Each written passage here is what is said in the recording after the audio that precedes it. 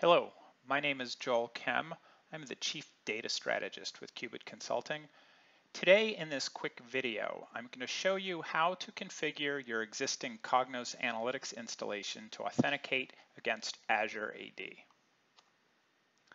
There are three primary steps you're going to see today. The first is how to register an application in Azure. The second will be adding that Azure information as an OpenID Connect provider to Cognos Analytics. And the last piece will be importing those users from Azure into your Cognos Analytics installation.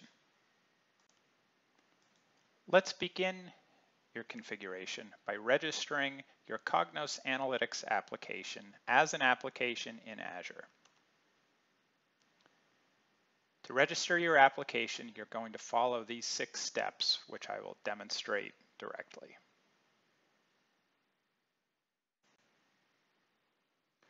After logging in to the Azure portal, select Azure Active Directory. A new pane opens up. In that pane, you will see an item App Registrations. Select that.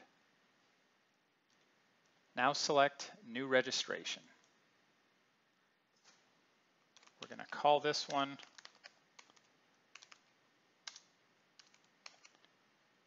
Cognos Analytics localhost. Give it a meaningful name so you know what it goes to. As you noticed previously, there's already a Cognos Analytics that is our enterprise registration.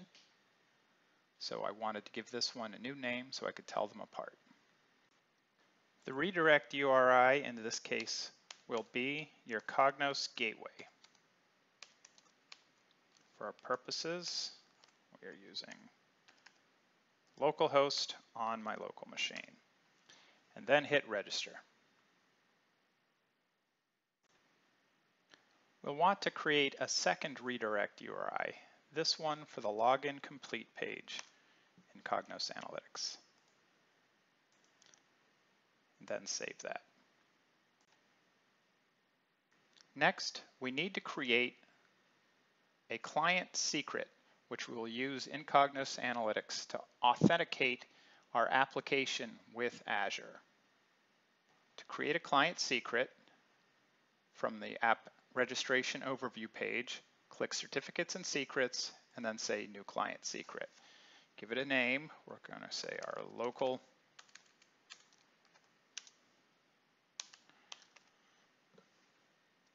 an expiration, and then create it. The value you see now is only visible this one time. So copy it to your clipboard, make a record of it because we will need it when we configure Cognos. So we're now just about ready to configure our Cognos application to use Azure AD. There is a bit of information we will need from Azure, but first I'm going to show you how to go into Cognos configuration and add the resource for the provider because that template will show us what we need to go back and get from Azure. With Cognos configuration open, go to Security and Authentication, right-click, and add a new resource, the namespace. We're going to call this one Azure AD. The type is OpenID Connect and that type is Azure AD. Now add it, and here you're going to see a number of things we need to go get from Azure.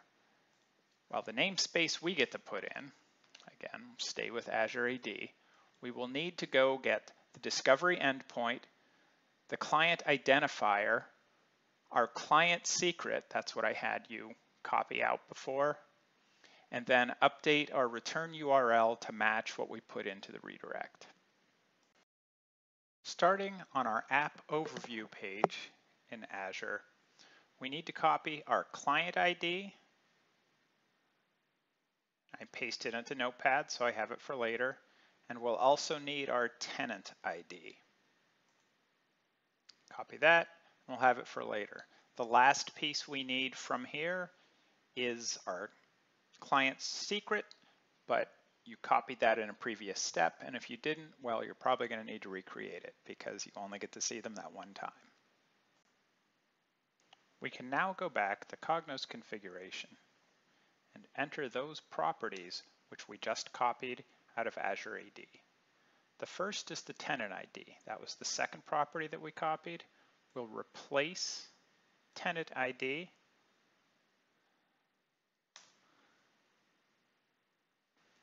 Then we want to replace the client identifier. That was the first property that we copied out.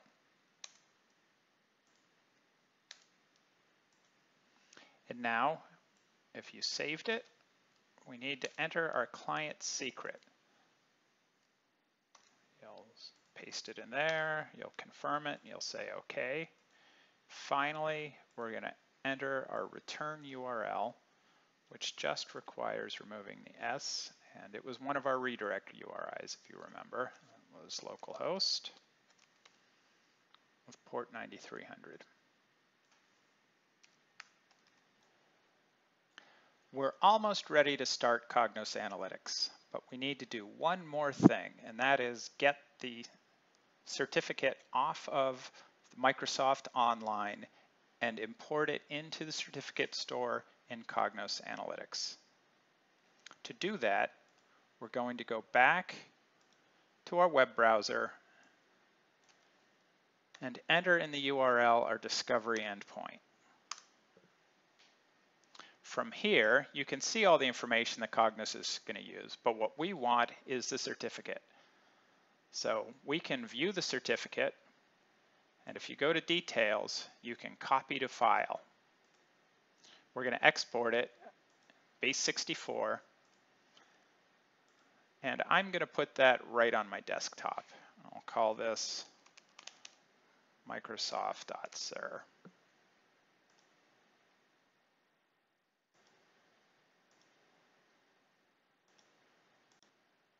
To import this certificate, first let's copy it into the bin folder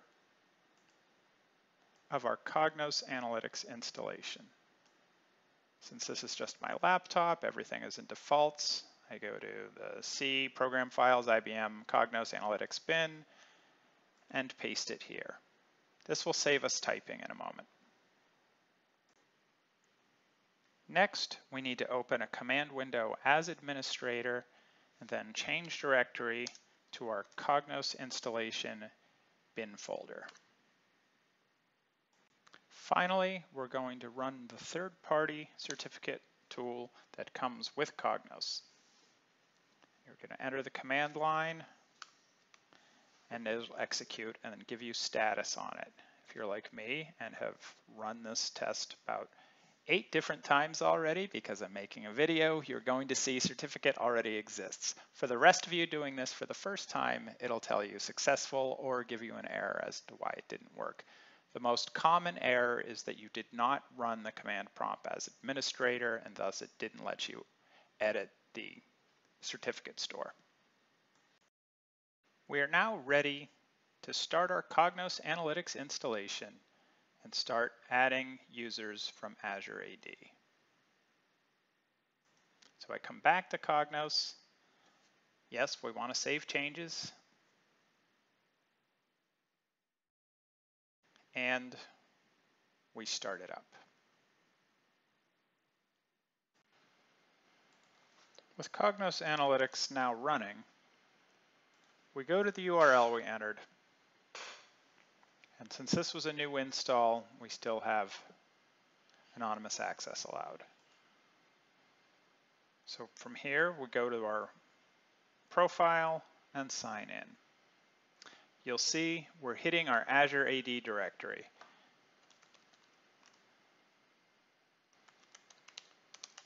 I log in as myself, username, password, and because we have two-factor authentication enabled,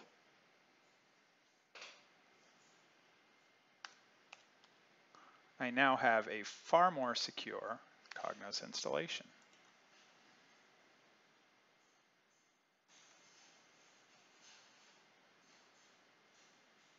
And it was that easy. And if I want to add more users, I just go to People, Accounts, Azure AD. You can add them by name, use a unique identifier, which in most cases is the email address.